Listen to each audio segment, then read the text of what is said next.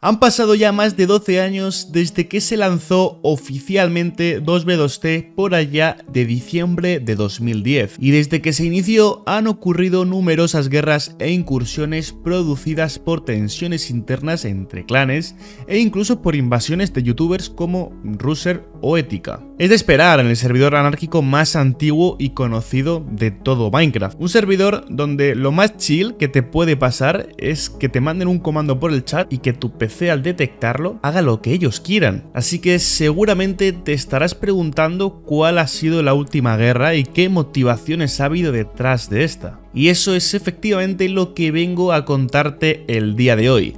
La guerra de los canales de 2B2T.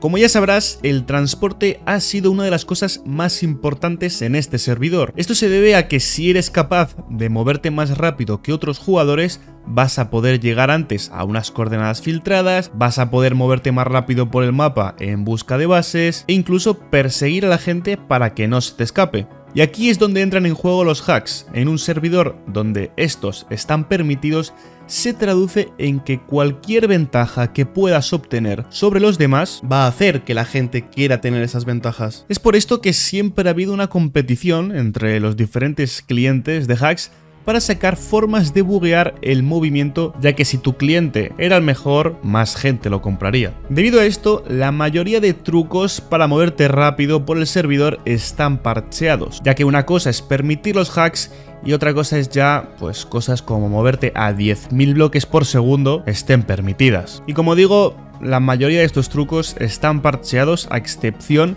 de algunos con las elitras, pero claro, hasta llegar a conseguir las elitras puede pasar mucho tiempo si eres nuevo en el servidor. Es por esto que si tú entras nuevo al servidor, la única forma de moverte rápido va a ser andando o en barco por el canal de agua. Y es que el canal de agua es una de las grandes construcciones de 2B2T, una enorme estructura que muchos de vosotros conoceréis y que se extiende a lo largo del overworld. Y es básicamente como una carretera, pero en lugar de ser de obsidiana como en el Nether, pues está lleno de agua lo que te permite así moverte con mayor rapidez a través del mapa. Lo único malo que es por el overworld y esto hace que sea algo más lento, ya que obviamente yo sigo pensando que es más rentable ir por el propio Nether, por arriba, por las highways, con el autowalk, ya que al final cada bloque que caminas en el Nether son 8 bloques que has caminado ya por el mundo normal. Y es que aunque el canal de agua existe desde hace mucho tiempo, la SCA, que es el Southern Canal Association, creo que lo he pronunciado bien, es un grupo que se dedica a expandir y a mejorar estos canales. Su objetivo era llegar a los 500.000 bloques y gracias al trabajo constante de los miembros de toda esa asociación consiguieron alcanzar este objetivo hace aproximadamente 4 o 5 meses. Y en principio no tenían límite ya que pues al final cuanto más lo agrandas mejor. Sin embargo, aquí aparecen el grupo de Fifth Column, en español la quinta columna, que es un grupo que se dedica a grifear. Y esta gente intentó molestar a los trabajadores del SCA para dificultar la construcción del canal. Pero en este caso, en lugar de tratar de grifear el canal, el grupo de The Fifth Column decidió recrear el incidente del barco que quedó atrapado en el canal de agua en Egipto del año pasado. No, de hace dos años, que estamos ya en 2023. En 2021 fue. Ya sabéis esta noticia que salió en todos lados del barco que se había quedado ahí estancado. Y para hacer esto construyeron un barco de obsidiana en medio del océano que pasaba por el canal. Pero no solo esto, porque dice, bueno, pues se rompe y ya está. No, no, no.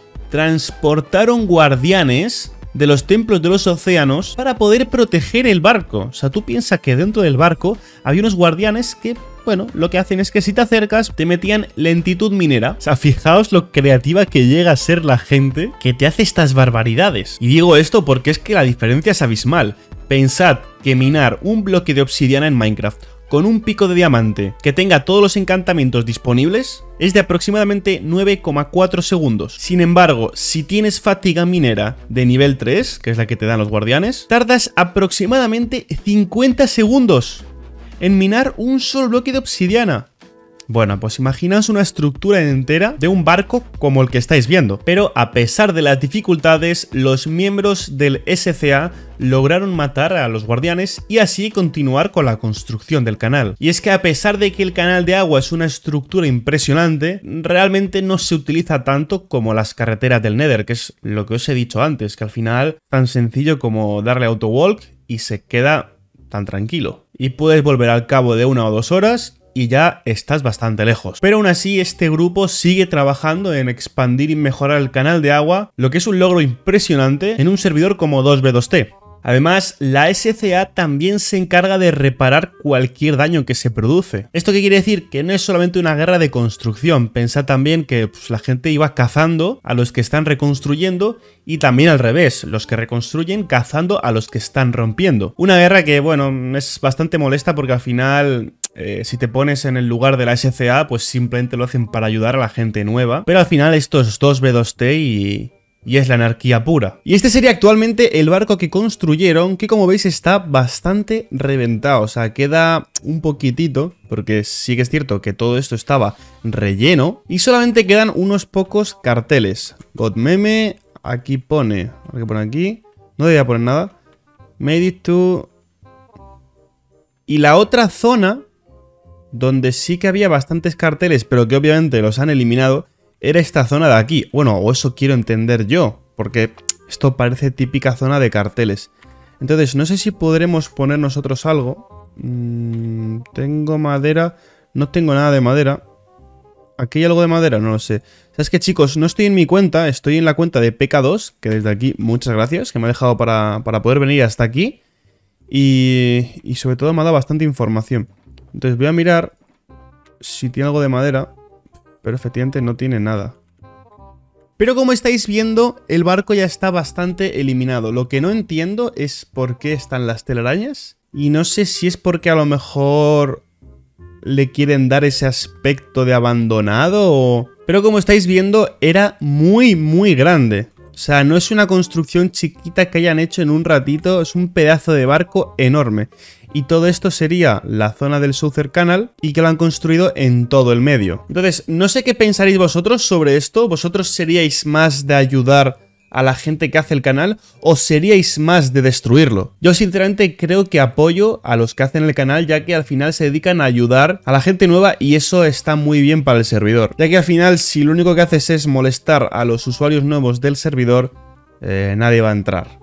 Y antes de despedirme chicos, por último quiero decir que dentro de aproximadamente un mes voy a sacar mi propio servidor de Minecraft. El proyecto que viene ahora es un servidor chicos, madre mía, madre mía qué hype tengo con el servidor. O sea, es que no os hacéis una idea. Pero tampoco quiero dar mucha más información porque ya sacaré un vídeo hablando del servidor. Además también decir que dentro de unos pocos días subiré el episodio de 100 días en 2B2T que estabais esperando. Y eso sería todo. Espero que os haya gustado este pedazo de episodio, suscribiros si no lo estáis, activad la campanita y nos vemos en el próximo episodio. Hasta la próxima, chao chao.